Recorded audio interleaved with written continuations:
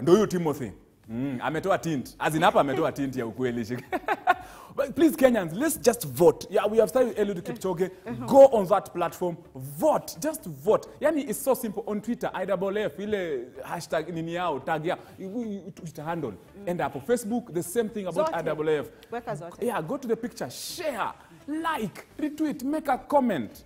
Kenya has to win. We are 20, 20 million people who are valid to have twitter handles. Unangoja this timothy shiko So this is the face, uh, among others, of the middle distance uh, future for Kenya. He is a 1500 meters uh, athlete.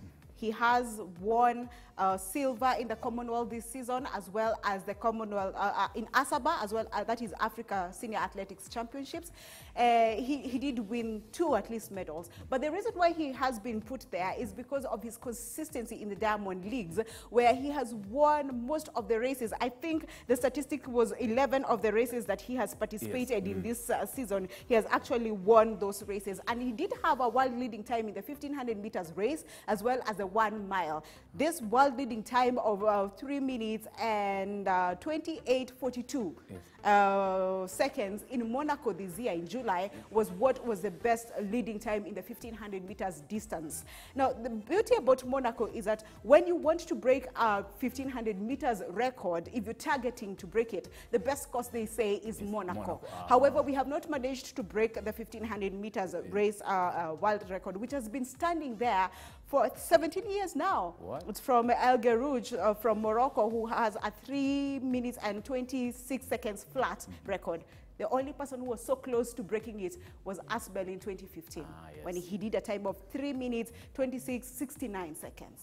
He, did, he couldn't slash off the microseconds, the 69 microseconds. And that's the only person who was so close. But this man, Yes. uh, Timothy Cheruiyot. Cheruiyot, has a chance to do that. He has a future because uh, before him, he, he just fought, uh, uh, lost races to Elijah Manangoi, who is his training partner as well. So he lost it in Commonwealth where he won silver and uh, Elijah won gold and in Asaba, which is the same kind of, of a podium finish for them. most definitely. Yani mnaona tuko na athletics dictionary hapa. Yani anaweza ongea in fact i'm the one who's going to tell her relax.